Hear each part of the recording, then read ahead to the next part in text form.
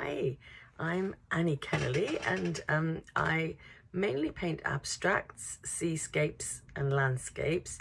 Um, I probably call my art abstract expressionism. I can't even speak today. Um, I first started out as an artist when I finished work and when I had time to dedicate to it properly.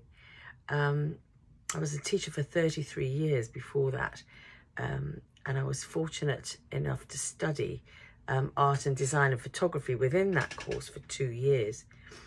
Um, I paint because I love it and if it gives other people pleasure and joy um, too, then that's a bonus for me.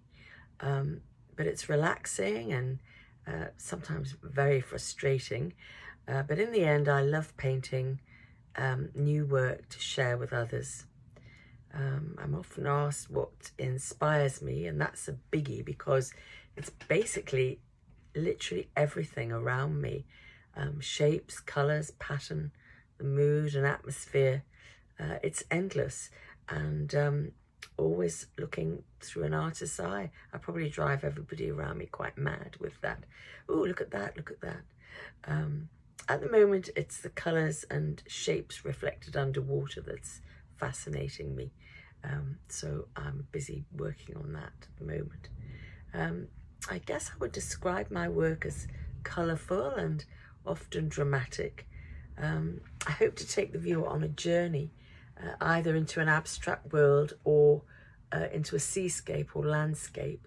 Um, if I could have one wish, it would be um, that it brings as much joy uh, to the people who are viewing my work as it um, does to me when I'm producing it. Um, I work from home in my little studio and I make sketches and notes first. Then I plan a colour palette whilst making little studies. This enables me to see which uh, experiments or which studies would work on a larger scale, in a larger format. I usually work on canvas or board, occasionally on paper, um, often priming them in red first because that gives a lovely warmth um, to the painting from within. And often you can never see that red, but very occasionally tiny little um, bits of it might peep through on the final work. I usually work on several canvases at a time, sometimes as many as six or eight, because I actually like the flow that that, um, that, that brings. Uh, my work's developed a lot over time, I would say. Um, I like pushing boundaries. I'm not afraid to paint something out either if I don't like it, even if it's taken me a long time to do it in the first place. So I guess I've got much braver about that sort of thing. Um, at one time, I would have been very precious about it. Um, I would say I've become much looser um, and I like to be expressive and contemporary in style. I use a variety of media, whatever really is right for the piece that I'm working on. Uh, my biggest influences, ooh, well, here's the shortened version. It would have to be uh, Wassily Kandinsky, uh, Marc Chagall, Helen Frankenthaler, and William de Kooning uh, for movement, colour, and pattern. I'm also hugely influenced by the wonderful northeast coast. Um, well, the northeast in general, actually. Um, the both natural and the man-made parts. Um, it's an artist haven up here. Uh, wide open spaces, stunning coastline, castles, moorland, what's not to like really. Um, it's a special place and I never cease to be inspired by it. Um, I've been asked about the work I'm most proud of, and I guess that would be two huge uh, abstracts of Bamburgh. They were commissions, um, and although they were the same subject, um, they were entirely different when they were finished, um, even though I worked on them at the same time, because the brief from the two clients was very different. Um, but that was a very exciting project.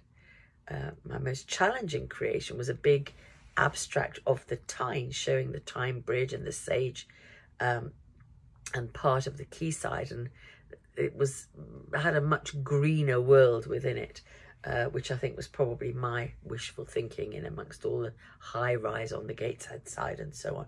Um, uh, I thought it would be great to have a greener city, but I think it's a hard thing to expect the viewer to understand um, what I'm trying to get at with that one. So I guess it was challenging for that reason.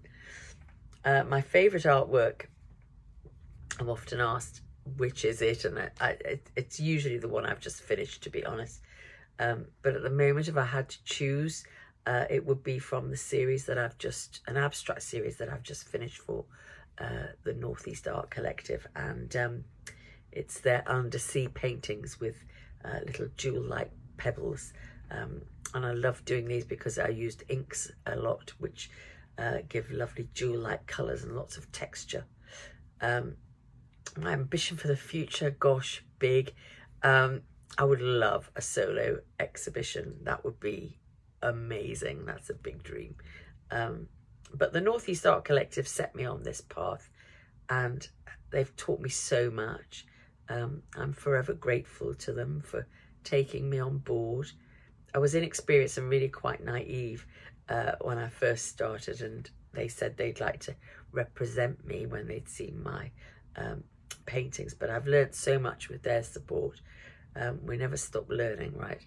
Um, and they're also um, they've also encouraged me to branch out um, into gifts using images of my um, paintings, which I try and keep updated with new abstract designs. So thank you, Northeast Art Collective, and thank you very much for listening.